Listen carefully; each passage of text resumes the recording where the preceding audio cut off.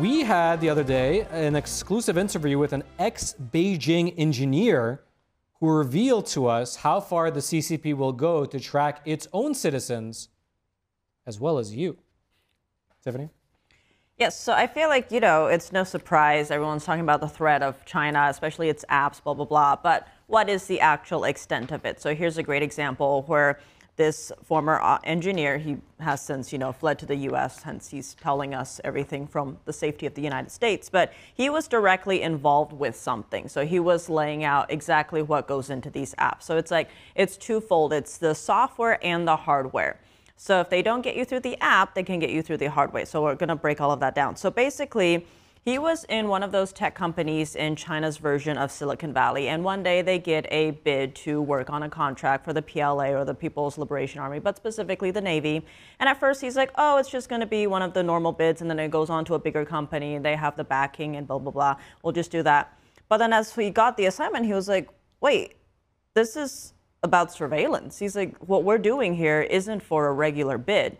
And so what they created was an app that every single sailor, as part of the Navy, has to download.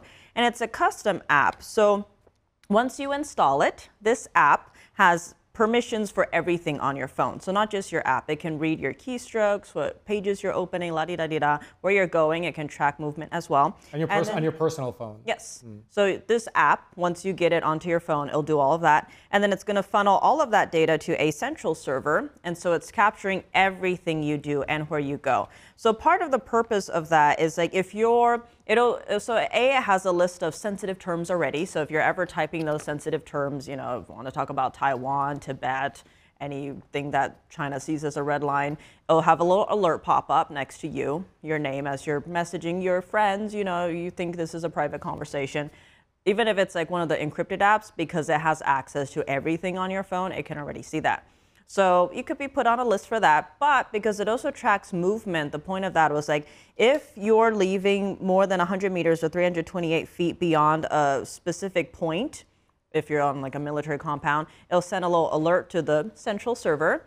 And people who are watching there could be like, oh, maybe you're a spy. Why are you always leaving? You know, so it's like full scale surveillance. But so this is one end. And his point about this was like, this example obviously was for the Navy, but he said you can enroll this anywhere. This could be for schools, it could be for other companies. It's not just specifically for the military. So he's like, that's where the threat comes in. Because like if you just have that know-how, that software, any app could have that. What, what, hence we always talk about ByteDance and TikTok and you know all these other Chinese apps like caught, Rednote. Caught transmitting data to China just recently, matter of fact. Yes, and then. Wait a minute. So, so you're saying that Red Note app on my phone that I downloaded? that's not safe. Surprise! Surprise! Oh no. Well, so here's the thing. Um, especially with TikTok, there are a couple different. Uh, articles from different places where they were researching and one example was someone who had just downloaded the app but never opened it Mm. And then they're going through their storage, you know, seeing how where all your capacity is disappearing to, and they realize that this app that they had never opened, TikTok,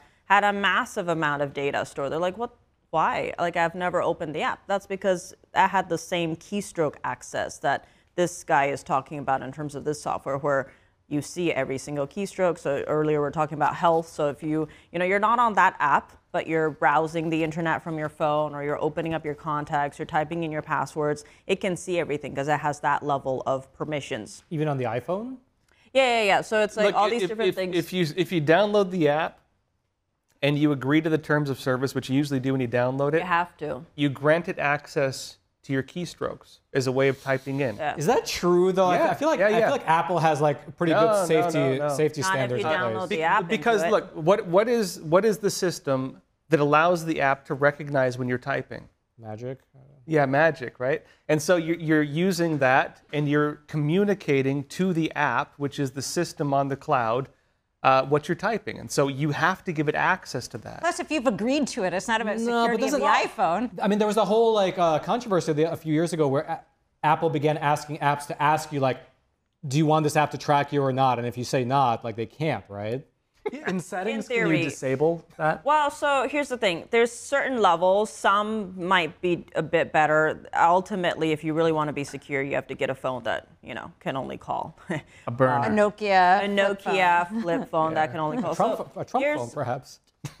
Uh, may, we'll see. We'll see where those are made. So here's the thing. That was the software part, right? And then he was saying the second part, the hardware part, is chips. So that's the real Trojan horse. To your point, right? It's like certain phones, whatever, can they remove the access to if you deny it?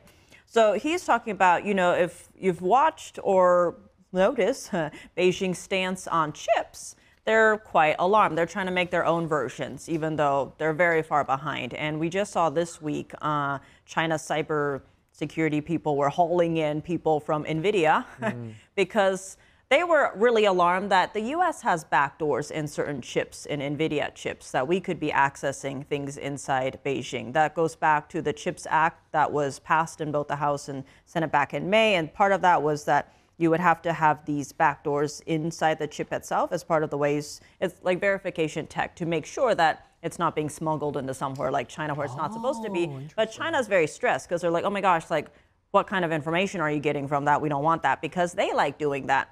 They like having that type of hardware access. That's what they're calling the modern day Trojan horse, which is like you can have that inside the chip that's inside your phone. So it doesn't matter what apps you're installing. Yeah, China's been caught doing that a lot. There have been security researchers who've bought phones from China and they find that there's spying systems built into the phones at the chip level. Mm-hmm. And it's and not it's, and it's not even just chips, it's even other components. So what a lot of people don't notice or don't know is you have the surface software you interact with but there's software on the chips themselves, and then firmware communicates between the surface, the, stu- the stuff you can actually work with, and the actual components. Uh, and so the stuff that's installed within the components, the chips, uh, even, I mean, it can be anything, you can't change that. You can't monitor it, you can't access it, and, and that kind of stuff is what they use for that type of spying usually. And then so he was extrapolating out to another level, which is that there's also Skynet and Sharp Eyes. These are part of their mass surveillance systems. These tie in more than 600 million cameras nationwide. So all of that footage is going back again to these systems. So it's like you have control on the software level, the hardware level, and then also visually they can track people, right? So then the even concern, your gait, right? Yeah. How so the whole there was a point, big warning out just recently. China was actually using even stuff they're selling the United States cameras for espionage. Yeah. And then you see all the headlines, right? The UK Parliament was like, "Hold up, why are these cameras, Hikvision cameras in our parliament where our sensitive conversations and policy decisions are being made. In the US, there's a lot of focus on DJI drones, which a lot of our law enforcement uses. It's like, okay, wait, where is all of that information and facial recognition and the Chinese and routers that were caught doing the exact same thing that So it's whole of scale surveillance and then his point is like okay well what can China do with all of this data? So at a low level when you don't have a lot you can do things like scam calls. You're like okay I can kind of predict We're talking about health earlier maybe I need this drug it's like you're going to call as a doctor you have you know, you're at risk for a heart attack. You should really take this drug. You know, you can do stuff like that. It's called but, fentanyl. Sorry. It, uh, and then, but when you have a lot of information and like most of the society, you can start steering investment trends and even sparking protests in different places, right? We're already seeing that with the uh, FBI warning in 2022 that China steals more personal and corporate data, to your point with the OPM hack than any other nations combined, adversarial nations combined. And what are they doing with that? So around the elections, you saw a lot of different groups. There was a House Select Committee on the CCP. They were very concerned about the routers and the data they're getting that way. So when it comes to elections, it's like you see all these different things where people get their news from TikTok or like social media platforms. You look at the hashtags, you see the points that are being raised, and then China also has their bot farms, right? The 50 cent army, this little people. They also have bots doing that AI now as well, not just people uh, getting paid 50 cents. Um, and part of that is they they notice what issues of contention are arising in different places, right? Especially ahead of elections. Say abortion is a huge one, or gun rights, or pro or against the Second Amendment, stuff like that. And then they fan the flames of that, and then they can rile up a population to be like, oh my gosh, I have to vote because this that I care about is at stake. And you see certain things where people are talking about instances of that where it could be at the scale of election interference, right? You're seeing some reporting lately coming out about the 2020 election where whether it's uh, fake IDs that were issued out so that people could vote or different cases in terms of social media where you're seeing ads that are targeted at people and then suddenly because if they know everything that you're watching and reading and swiping on, they can start predicting and manipulating your worldview, if you will. There are actually studies about that where you see people getting influenced ahead of elections. So, so communist either, China is trying to increase our democratic engagement. well, the idea is what what media you read determines basically your perceptions on political policies and politics. If you can control the information, you can control basically people's general political beliefs. Yeah. So I figured that would be tied into networks of bots and other things that they have, which are trying to, you know, farm opinion.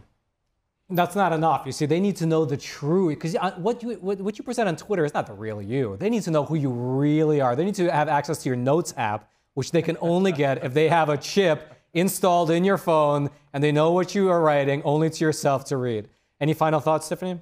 Well, just in this example, this software engineer, you know, he always saw himself as a Communist Party loyalist. He had nothing against the party, yada, yada, yada. And then one day, his younger brother had posted something that was a bit more pro Taiwan independence.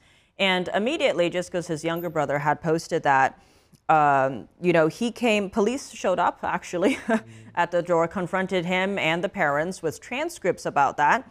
And then so he posted something about that. And then his account was immediately deleted. And he was like, wait, what the heck? Like, I'm a software engineer. I, I, I believe in the party. I believe he's like, if this can happen to me, I've never done anything against this. It can happen to anyone, especially those who are talking about sensitive things. So right now, there's a lot of talk about, you know, the UK uh, different rules that they have implemented to protect children online, and then now suddenly everyone has to put in age verification one example was someone was looking at a feed about menswear, you know, what you should, which type of leather shoes you should wear with your suits, and he had to put in his age to uh, prove he's over 16. So it's like, to your point about like, how are you getting the information to decide who you're going to vote for if you can't get that information? So it's like all these different layers where maybe it's not anything new, but here's another example of how deep it goes. Mm, mm, all right. So if you're watching this and you're thinking about getting that smart refrigerator with all those special functions,